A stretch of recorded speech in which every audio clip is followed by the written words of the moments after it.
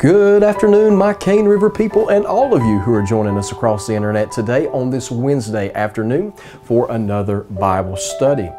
I hope that you have been enjoying this series in which we've been preaching upon as we try to answer the question what is a courageous faith? As we look into the lives and the minds of those people, we're talking real people real time, real places, historical biblical figures such as Abraham and David, and now we're looking into the life of Gideon. You see, each of these three men, they all had their separate problems. They had obstacles in their lives. They had their own fears and doubts and worries, things that uh, gave them anxiety. And they were all different. They were all unique. What bothered Abraham didn't bother David, and what bothered David didn't necessarily bother Gideon.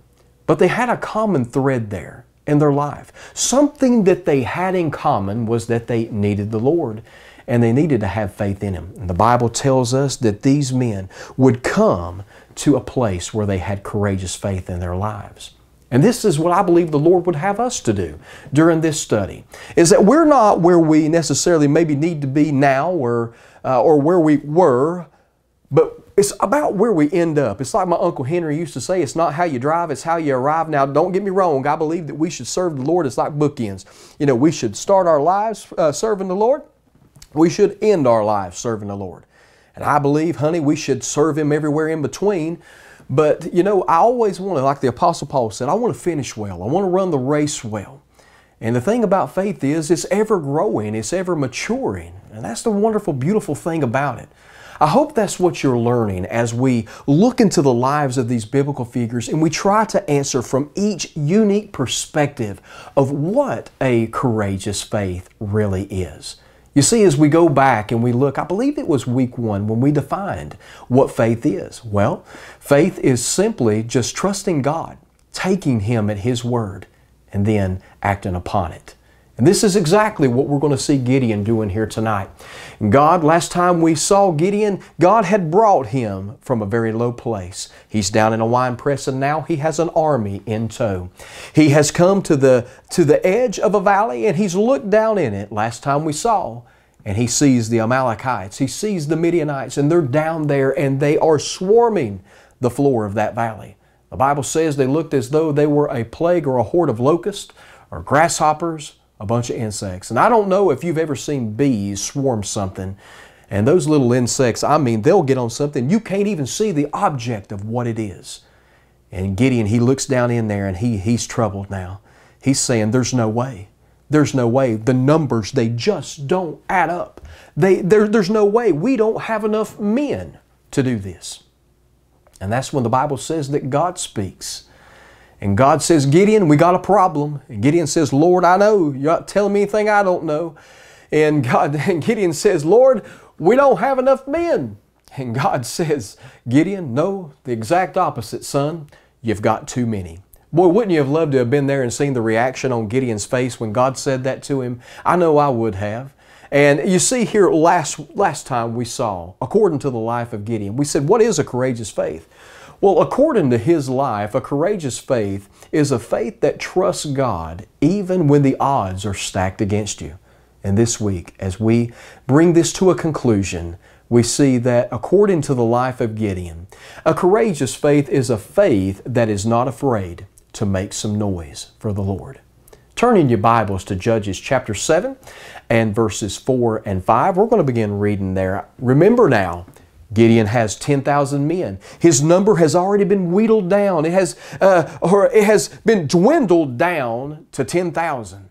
They were small in number before, but now they're even less. And God is telling him, Gideon, you are going to have to shed some more weight. You're going to have to get rid of some more men. Notice what the Bible says here in verse 4. And the Lord said unto Gideon, The people are yet too many. Bring them down into the water, and I will try them for thee there. And it shall be that of whom I say unto thee, This shall go with thee, the same shall go with thee. And of whomsoever I say unto thee, This shall not go with thee, the same shall not go. So he brought down the people into the water, and the Lord said unto Gideon, Every one that lappeth of the water with his tongue, as a dog lappeth, him shalt thou set by himself. Likewise, every one that boweth down upon his knees to drink. You know that many Bible scholars and theologians, they believe that God handpicked. They believe that God hand selected the 300 biggest cowards out of the 10,000 men that was left over. You say, how in the world? Well, let's look at this here for a second. You see, as they bowed their head to drink that day, there was two separate types of people. There were those who bowed their head and they got down on all fours like a dog and they began to lap up and their, their eyes were lowered and they took their head off of everything around them. You see, by doing so, that would make them vulnerable that would mean that these people, as they're lapping up that water, they weren't aware of anything else around them because their head was down. But you see, there were some others who decided they were going to take a knee. And they were going to drink differently. They were going to lower their heads. They weren't going to bow their heads because they weren't going to take their eyes off their surroundings because they're so afraid and they're so terrified. Now, you got to understand something here.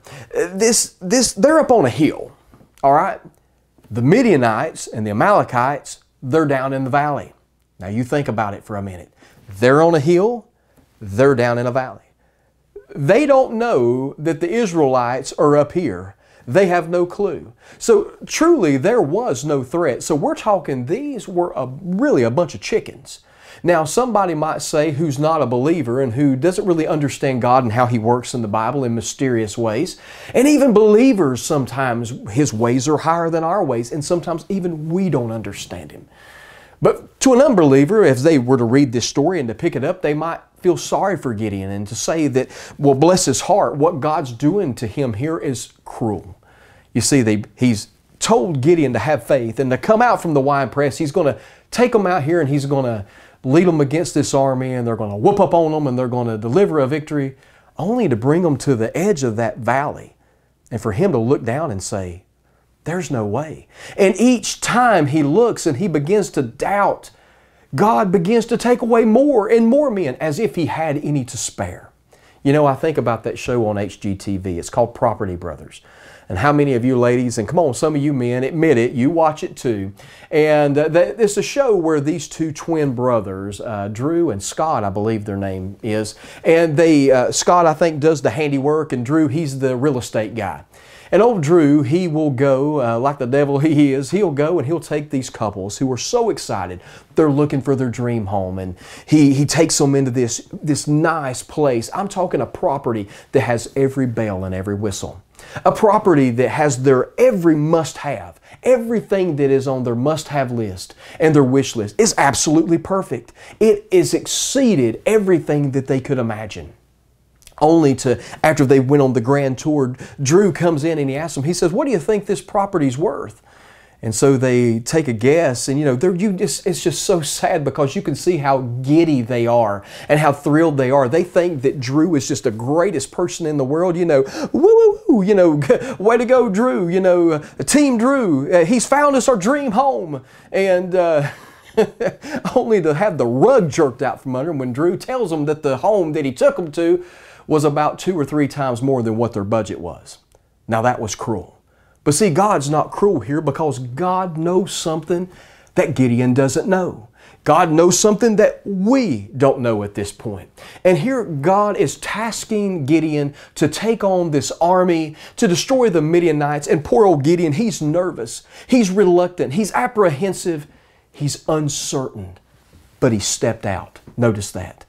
I mean, he's struggling here, but he stepped out only to be brought to the edge of that hillside to look down in it and the enemy and to realize and to see that the people that he's going to have to fight is greater than they are.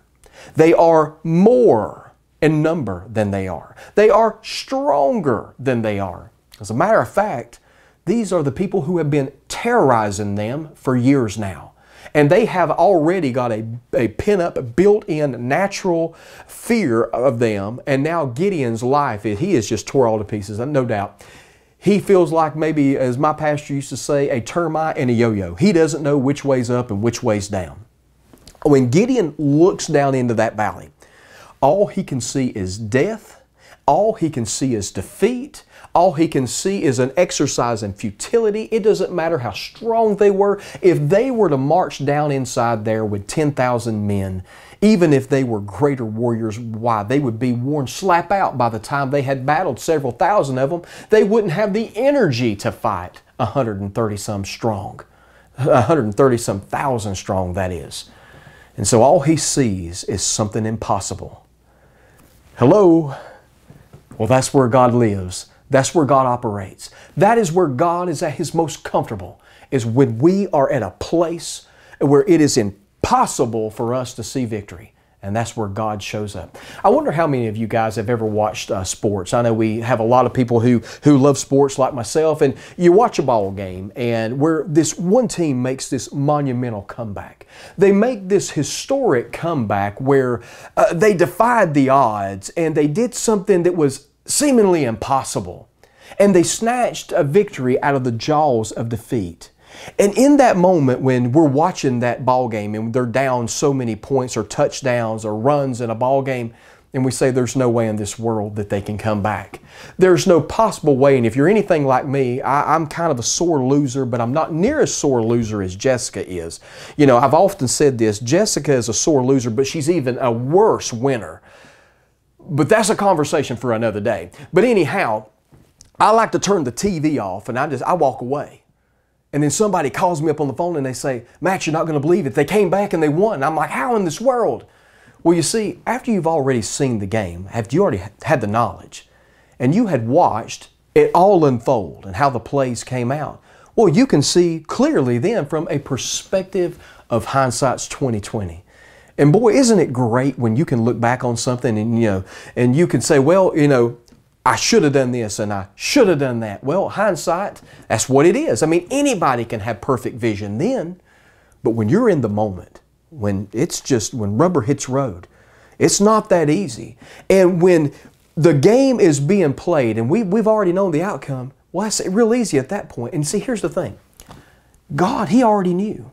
God has already seen through His, His great knowledge and His foreknowledge he sees exactly, but exa- exactly what's going to come down with this.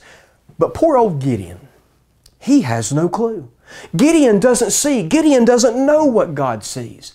And that's why he's tore all to pieces. You see, God wasn't in heaven uh, stroking his beard or cracking and popping his knuckles, rocking back and forth in a rocking chair saying, What am I going to do? What am I going to do? No, not at all. God was in heaven and he already knew what was going to happen. He was going to deliver this thing to his people. He had promised them that and you, they could take it to the bank. All Gideon could see, though, was that he has now has 300 men versus 130,000. It's here in the Bible that we see one of the greatest victories in all of Scripture. One of the greatest victories. I would even liken it up there with David and Goliath, if not greater. In chapter 7 here, let's skip from verse 5 and let's go and let's look down in verse 9 here for a moment. We're going to read to verse 12. And the Bible says, And it came to pass the same night that the Lord said unto him, Arise and get thee down unto the host, for I have delivered it into thine hand. Now, God here, He's already predicting the victory. And if thou fear to go down, go thou with Phurah thy servant down to the host. He's saying, Gideon, if you're really scared, I want you to take a buddy with you. They're having the buddy system. And they're heading down through there, and he says, And thou shalt hear what they say, and afterwards, uh, and afterward shall thine hands be strengthened to go uh, down into the host, then went he down with Phurah his servant unto the outside of the armed men that were in the host, and the Midianites and the Amalekites, and all the children of the east lay along the, in the valley like grasshoppers for the multitude, and their camels were without number, as the sand by the seaside for multitude. I want you to notice here when we look at his buddy who went down in there with him. You know, that's what it is in life life sometimes is not as scary if you got somebody else to share it there with you. I've often heard the saying that, uh, talking about when people are afraid, saying the old bear analogy. Well, I don't have to outrun the bear, I just have to outrun you. And maybe that was what Gideon was thinking, I don't know. But uh, Phurah means uh, foliage.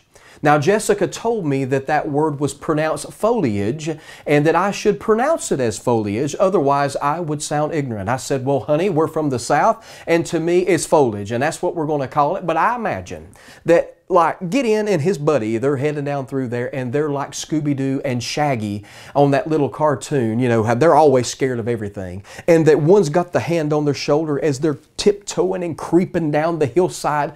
I mean, they're shaking like a leaf. I mean, they're taking their time. That's exactly what they remind me of. Now, let's look here in verse 13 and let's pick up where we left off. And you're going to notice something amazing about this story. I love this right here. And when Gideon was come, behold, there was a man that told of a dream unto his fellow, and said, Behold, I dreamed a dream, and lo, a cake of barley, bread, tumbled into the host of Midian, and came unto a tent, and smote it that it fell, and overturned it that the tent lay along. And his fellow, and his fellow answered and said, This is nothing else save the sword of Gideon, the son of Joash, a man of Israel, for into his hand hath God delivered Midian and all the host. And he says, And it was so when Gideon heard the telling of the dream, and the interpretation thereof that he worshipped and returned into the host of Israel and said, Arise, for the Lord hath delivered into your hand the host of Midian. Now, the guy that walked down that hill with his buddy in the buddy system is not the guy who's climbing it back up. If there's one thing in this world that you want to know that will encourage a coward, it's to find out that the person that they're afraid of is more afraid of them than they are that they're afraid of that other person. And so here he is, and the Bible says that he worshiped. Now, he couldn't have been too loud because imagine he's having to be quiet, but I don't know. Maybe he gave it a good fist pump. I don't know, but I believe he cleared him off a spot there and he had himself a moment. And he's heading back up that hill and he's ready to get the armies. All three in the army. Let's be realistic here. He's going to get his 300 men. Now, isn't this funny that the same guy that was found down in a wine press threshing wheat is now ready to go grab 300 of the biggest cowards of all the men in the entire army, and they're ready to go down there and fight 130,000 people. Only God could do such a thing. But you know, I think about that statement. If there's one thing that will encourage a coward, it's finding out that their enemy is more afraid of them and than they are of them. So, you know, I got to thinking about this, and there was a time in my life back in kindergarten. Now, I don't claim to be uh, some big tough guy. I'm not this macho type uh, individual. That's not my persona. Uh, you know, I don't have that bravado about me. You know that and uh, nor do I want to be. But let's just say this: in kindergarten, I went to school, and every day I come home crying. There was this boy, he picked on me and he hit me, slapped me, bit me. He kicked and thrashed around. And every day I came home with cuts and bruises and black eyes and busted mouths and I'd be bleeding. And every day my dad have to hear that story. Until finally my dad said, enough's enough. He said, son, he said, if you don't stand up to that bully, he said, next time you come home crying, he said, son, I'm going to give you something to cry for. Now, here was the problem. I was scared to death of that bully, but I was more afraid of daddy than I was that bully. So when I got to school the next day, guess what happened? Sure enough, just like clockwork, that boy lit into me, and before he knew what happened, I, he, I lit into him and I wore the fire out of him. I mean, I whooped him something good. And it was one of those moments where, like I said, I'm not a tough guy. I, I, I don't, I don't go around looking for fights or anything like that. I don't think another man should raise his uh, fist against another person. However, at this moment, I had had enough, and my daddy told me to, so I did it. And I lit into him, and I couldn't believe it. I was winning. I was whipping him like a yard dog, and guess what? That boy would walk a country mile around me, and I didn't have any more problems out of that fella the rest of the year. Well, let's fast forward 20 plus years. And we're at the old Walmart, not the new Walmart here in Marion, but the old Walmart out near Wendy's and McDonald's out that way. And uh, I, am in there and I'm shopping, and this fella comes up to me, and it's this guy. He is covered, and when I say covered, he is covered in from head to toe with tattoos and piercings. He's got this mohawk looking haircut. It looked like a I don't even know what it was. It looked like it was one of those home jobs, personal jobs. His tattoos looked like they were personal too. Didn't look like he went to somebody that knew what they was doing. And so he was a very scary and intimidating figure. And he walks up to me and with this really, really bad attitude, he says, Are you Matt Mills? And I felt like saying, Well, it depends. what do you want with me? And what do you want with him? And I'll tell you. And uh, I thought to myself, well, I had never seen this guy in my life. I don't know him from, from anybody. And so I, I said, well, I, I'm Matt. And he said, well, do you remember kindergarten? And I'm not going to lie, the only thing, and it hit me. I know who that fellow was. And he said, Well, I'm so and so. I'm not going to mention his name. And he, he said, he said, Well, I'm so and so. And uh, he said, Do you remember kindergarten? I'm, I'm going to lie. And I said, Nope. You know what, buddy? I can't remember what I had for lunch yesterday. I certainly don't remember kindergarten. And I mean, at this point right now, I could have given up the ghost. I mean, you could have knocked me over with a feather. I was about to pass out. I looked like Casper the ghost. I mean, I was white as a sheet. And he looked at me and he said, Well, I, he said, you know, and he stood there for a second, just stared. He said, uh, he said, Well, you remember you really worked me over back in kindergarten. And at this point right now, I mean, I, I'm, I'm really, I'm sweating because I'm thinking, Well, this is it. This is where I die. This is the end of the road for Matt Mills. You know, 20, I had a good run, I had a good life. And this guy, he's gonna, he's gonna cream me right here. He's gonna stomp a mud hole in me and walk it dry. He paused for a second and then he started laughing. And he said, man, he said, he said, you really, really, really gave me the what for back then. And he said, well, it was good seeing you, man. Hope to see you around. Catch you soon. And he walked off and I almost had to lean back up against an aisle, you know, and, and sit down. It was one of those moments, you know. But I guess what had happened, that whooping I gave him, it made an impact. no, I kid. But I said that to say this that Satan, he is an intimidating figure. Now, you imagine here, just like that boy that I met in Walmart that day that he grew up to be, as intimidating as he was, he's nothing compared to Satan. Satan is the ruler of darkness. He is the ultimate picture of evil and wickedness in this world. Imagine we're talking the devil himself. What could be more uh, intimidating? What could be more terrifying? What could be more uh, formidable than squaring up and going toe to toe with such a figure? You know, and oftentimes we, we give that rascal, we give the devil too much credit and we say, well, the, the devil made me do it. Or the devil's fighting me here today. No, the worst enemy that you'll have in this world, that's your old flesh. And you take that to the bank, and that's the truth. But did you know here today that Satan is a limited creature? We give him way too much credit and we shouldn't. He is. He's not omnipresent. He can't be everywhere at once. He's not omnipotent. He's not all powerful like God. He has limitations and boundaries. He's not omniscient. He doesn't know all things. And as a matter of fact, God's people need to realize that we are no match for Satan in and of ourselves, but through Jesus Christ, we can put him on the ropes and we can send him packing. In James chapter 4 and verse 7, the Bible says, Submit yourselves. Notice there, he begins that sentence and it says, Submit. That's how you do it. Submitting to who? Unto the Lord. Submit yourselves therefore to God. Resist the devil and he will flee from you.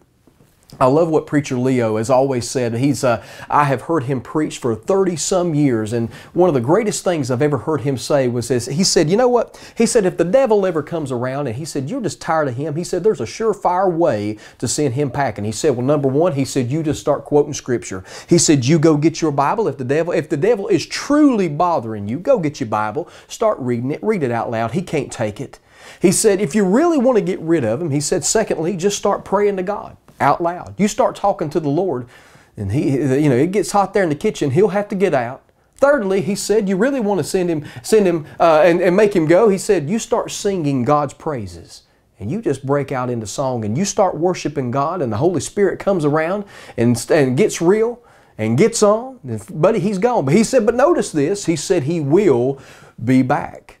But just the mention of the name of Jesus, and the devil will flee.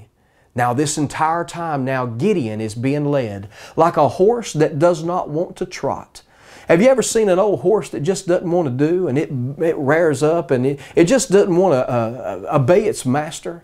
And Gideon, he's just like pulling teeth as he goes down through there and God's having to lead and pull and tug. And now that same timid person, that same terrified person that they found that we saw in a wine press, now he's Now God is saying, is trying to con, now God is trying to hold him back because now Gideon's trying to convince 300 men to go charging down a hillside into 130,000 people. He's ready to fight them. Unreal. That is so amazing. That God, what is the difference here? The difference is God. He is the difference maker in our lives. And now God's saying, Whoa, whoa, whoa, whoa, hold on, Gideon, whoa now. You're going to have to back it up. We got a different plan.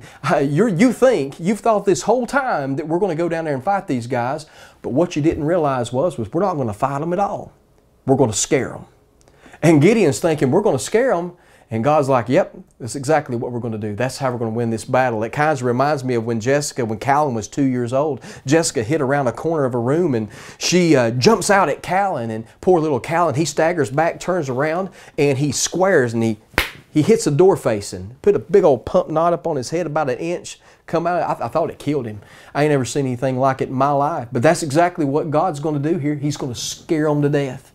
And he tells Gideon, he says, I want you to separate and to divide the remaining 300 men. And I want you to do it. I want you to put them into three groups, equally 100 in each group. He tells Gideon, he says, give every man a pitcher with a torch inside of it. He tells Gideon, he says, Now also give them a trumpet to carry. And then he says, You go put a hundred men on the left hand side of that valley and take a hundred men and put it on the right hand side. Then I want you to go put a hundred men in the middle and we're going to surround these guys. And so here Gideon is with 300 cowards surrounding that that enemy and the army down in that valley floor. And he said, Gideon, when you give the signal, he said, the men are to break the pitchers. And after they break the pitchers and that great sound, he said, I want you to wave the torches in the air. He said, then, he said, they're to blow the trumpet. And then they were to shout. They were to shout, the sword of the Lord and Gideon. And on that day, Gideon and 300 cowards conquered 130,000 Midianites and Amalekites. You say, how, preacher? How so? Well, you see, in ancient days, battles were almost never fought at night. Armies couldn't see at night. That was the reason why. It was as simple as that. No more, no less. They couldn't see. And the armies couldn't differentiate between the enemy and themselves. I mean, it wasn't like uh, you're out there playing sports and you had the, the home team in white and the away team in darker or colored jerseys. No, they all looked the same, especially at night, and they didn't want to kill each other. So battles were mostly fought during the day. However, battles that were fought at night, only a few soldiers carried torches. And because these torch bearers, they could not carry a torch and carry a sword and shield, so they had to kind of carry one or the other. So if they carried a torch and a shield, they had nothing to attack with. If they carried a torch and a sword, uh, they had nothing to defend themselves with. So uh, they only limited those who would carry torches to about one torch bearer in that day to about every 100 fighting men or more. Now, not only could they not carry torches and their weapons, but they uh, could not put a trumpet in the hand of every man either for the same exact reasons because they wouldn't be able to carry a sword and shield. Now, have you ever seen pictures of the Revolutionary War? Have you seen it where there are only a few uh, young men or boys or soldiers uh, that are playing the fife? There's only a few that are playing the drums compared to the many fighting men that are around them. And generally, during that time, there was about a dozen, maybe musicians to every couple of thousand fighting men. So what happened was when the Midianites and the Amalekites, when they were down there asleep in that valley, and they heard the pitchers break, down there in that bowl of a valley, the sound would have traveled, it would have echoed uh, in that bowl, and it would have sounded louder than it really was as they were surrounded there.